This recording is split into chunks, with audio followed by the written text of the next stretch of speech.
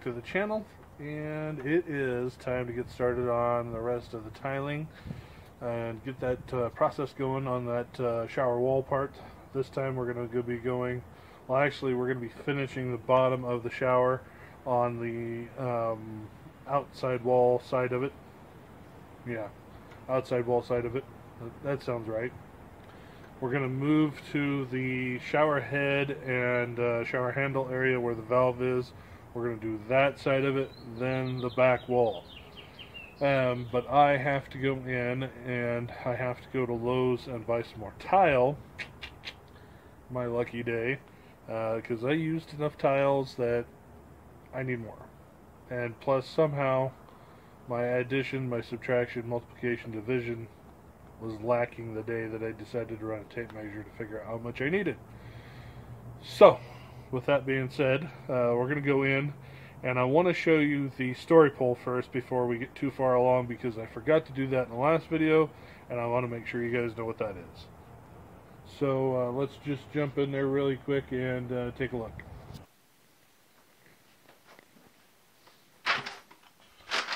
Okay, so the basic concept of a story pole is a stick, a rod, whatever you might have, could be wood. You want to make sure it is straight as possible because the last thing you want is something that's going uh, the other direction on you. So the point of a story pole is, well, basically to tell a story. It's a great concept, right?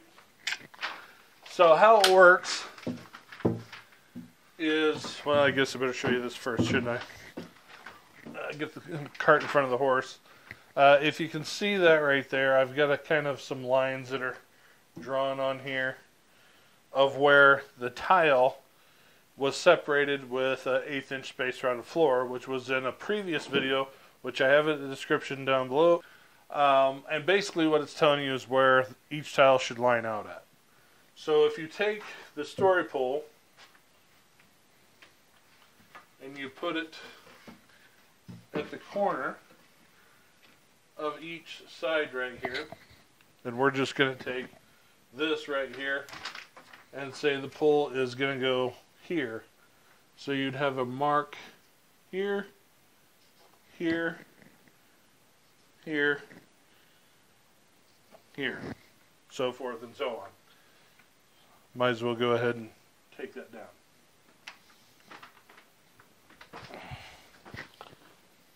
So the basic concept of a story pole is that it has lines where you would be basically um, where the eighth inch gap would be for each tile. So as you can see is I put a line here, here, and here, and then I would go all the way down to the bottom right there. And I would just take a level and run a level out so I kind of knew where the tile should go.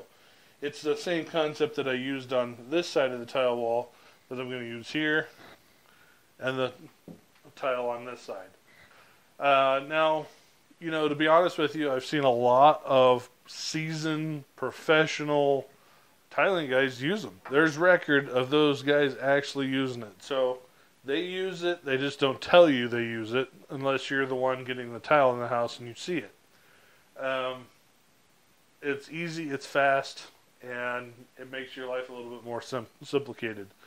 Story poles can be used for anything. I mean, if you were putting in, say, a um, stairs or like a turnabout style stairs, you can use a story pole to figure out where you would be putting place in your steps in order to meet code, where it would flow really nice.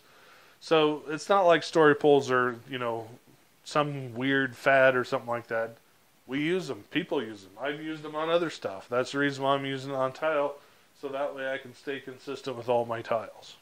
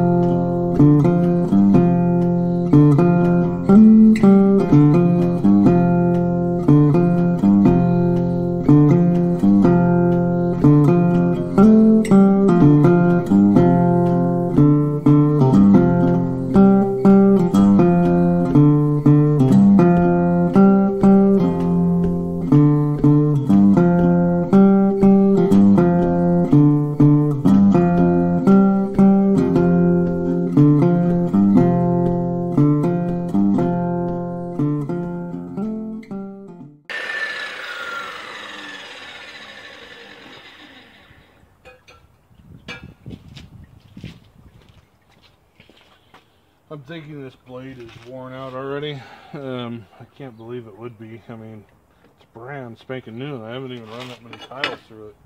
And for $75, it better not be worn out already.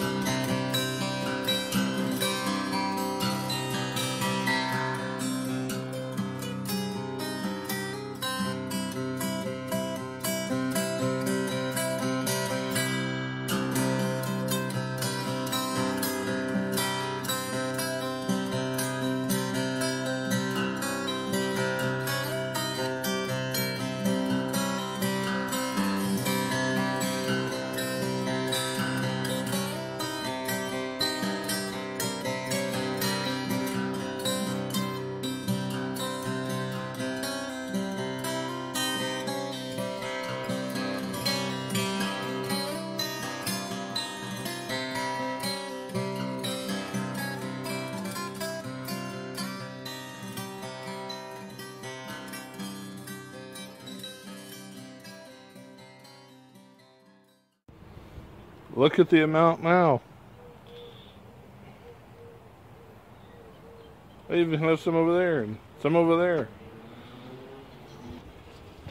Oh my goodness. Yeah, I've gone through some tile. some of it's my fault, some of it just cracked. Uh, the blade has gotten dull.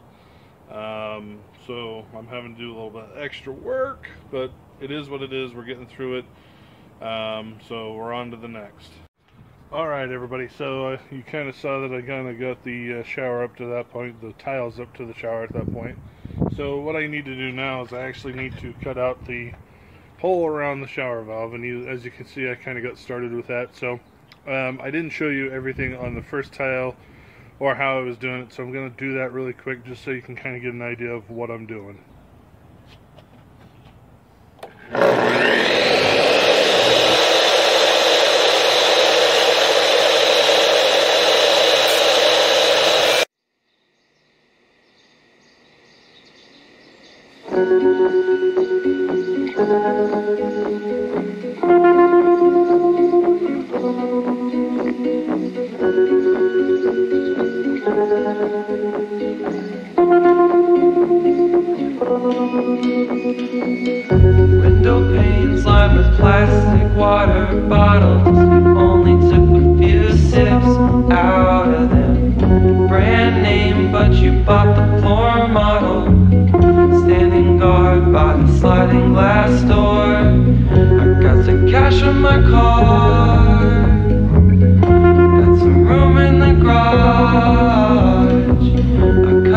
picture out with my scrapbook.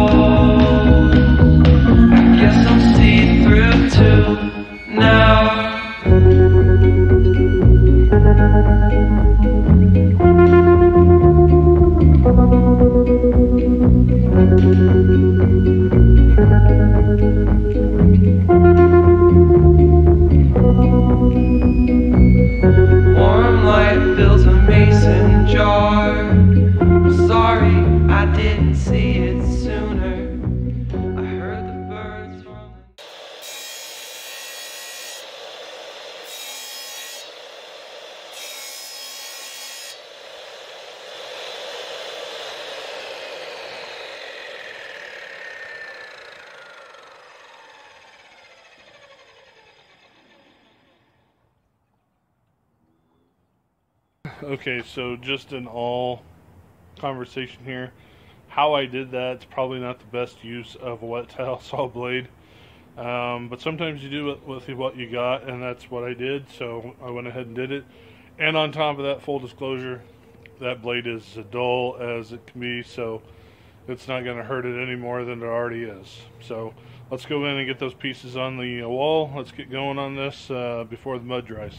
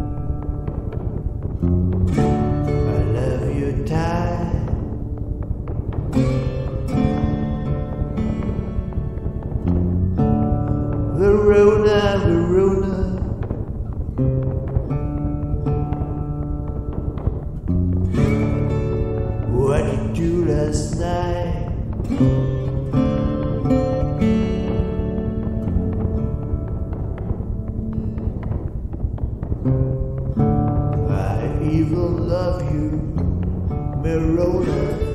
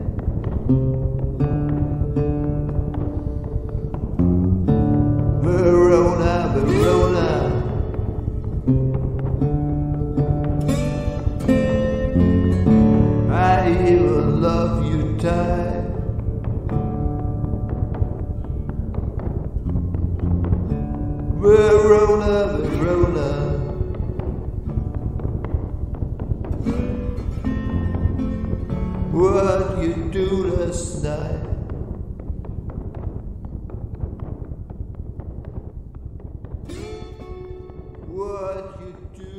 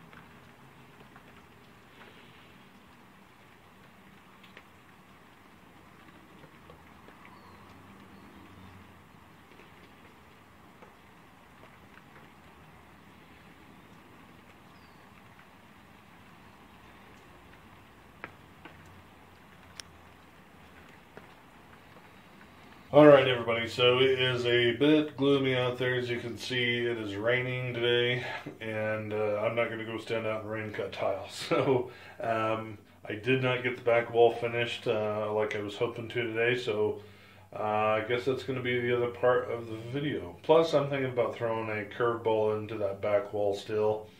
I still have not really made up my mind, kind of what I really want. I, I kind of want to throw something in there, but I'm not sure yet. So. Uh, I'll be working on that for the next video along with hopefully going ahead and getting the um, uh, grouting done at the same time. That way we can get this kind of wrapped up and stuff. So uh, let me just jump in. We'll show you what I've got going on and kind of go from there. So I got everything but the bottom and I know I said I was going to do the bottom on the other side but I've decided I'm just going to wait and do the bottom all the way around. I think that'll make life a lot easier. That way I don't have to mess with three separate ones. So anyway, I've got everything on there. Uh, it is all set up, ready to go. Uh, I've got the hole cut out for the uh, sh shower head. Uh, and if you guys can remember that, I showed you. I've got the uh, hole cut out around the uh, um, handle area. Yeah, there we go. So uh, I still have the back wall to do, but again, it's uh, raining, so I'm not gonna even try to mess with it today. Um, I'll wait till it dries out. I'm I'm not that stressed about trying to get this done, but uh, got one side done, got the other side done. This I can tell you was ten times easier uh, than the other side there. So um, yeah, that's where we're at. I've got my ledger board already set up there, ready to go. Um, but I, I, haven't decided what I want to do here yet, to be honest with you. So I guess having it rain ended up being a good thing. So with that, it is another long video, and I apologize. I cut up, sped out, sped out, sped up. I I sped up as much as I possibly could in order to get everything in here for this one. Um, I know that you're probably going to have some questions about uh, the mudding part of it. You probably saw at the beginning of it on the bottom that I just kind of troweled it on nice and smooth and I took and uh, pulled the uh, trowel across to uh, get a quarter by quarter um, trowel mark across it. I was actually going to do the whole thing, but when I did that, it just, I don't know, I guess it felt weird and I just decided to go back to what I was doing originally and, and did it that way. So, you know, six and a half, one to a dozen, as long as it works, nothing falls off and nothing leaks, I'm good. Uh, so with that, I just want to say thank you very much for taking the time to watch the video. I really appreciate it. If you would, smash that like button, get the YouTube algorithm going so more people can find me. And I really, really appreciate the time you all take to watch my videos. So have a good day, have a good weekend, rest of your weekend, and uh, hopefully your Monday starts off great. Talk to y'all later.